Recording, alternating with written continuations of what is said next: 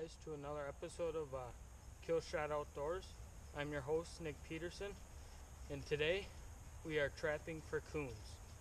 Um, I'm going to be using these dog-proof coon traps. Um, this is a little grizz. These are made for trapping coons when you have dogs running around or uh, trapping in a haymow where you got cats and stuff and these are a really nice uh, trap for catching coons.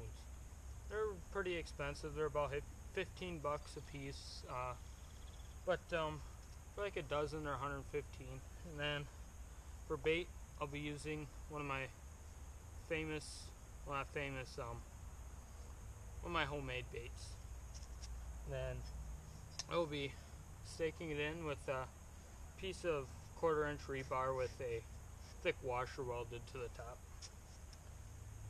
And I'll get to what the tinfoil is when we get to that point. So what you first want to do is take your trap and I already have it set. Take your trap, take the end piece, this D, put that through the rebar, pick any spot and pound her in.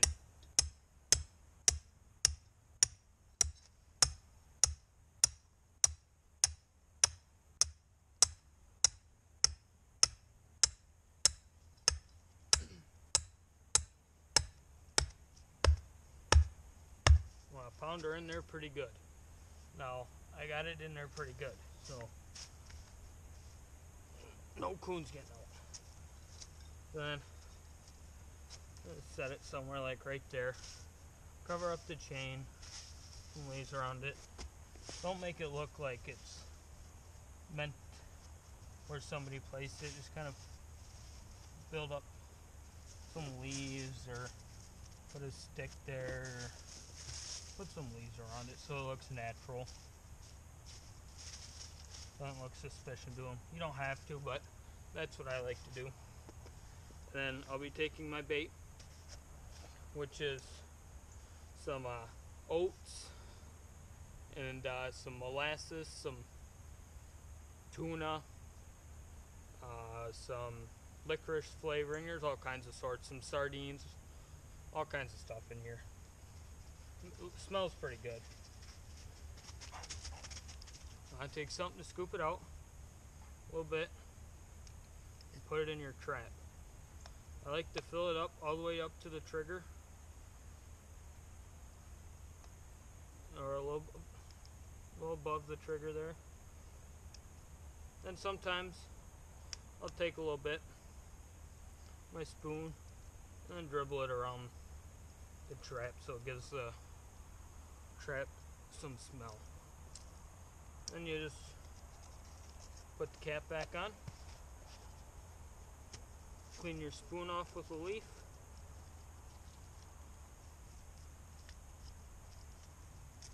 and then fold it back up. Then tinfoil. That's what I like to do. I'll take a uh, nice, oh, two by two square uh, tinfoil. And I'll put it over the trap like so. The reason is for that, uh, so um, mice, I've had problems with mice before and I just put that on there and the mice can't get it and steal your bait. And also it gives the trap a little flash and coons love flashiness. So that's what I like to do. It tracks them a little bit. Then you just take a stake or some type of stick and poke a couple holes in it so a scent can come out. And then there you have it. A dog proof trap well, for another way you can use a golf ball, but uh, yeah, there you go. There's a nice easy way for a coon trap. I will tune back into you tomorrow when I come out and check them. I'm gonna go uh, set all my other ones. I got about five more in the backpack there, and uh, I'll get back to you later.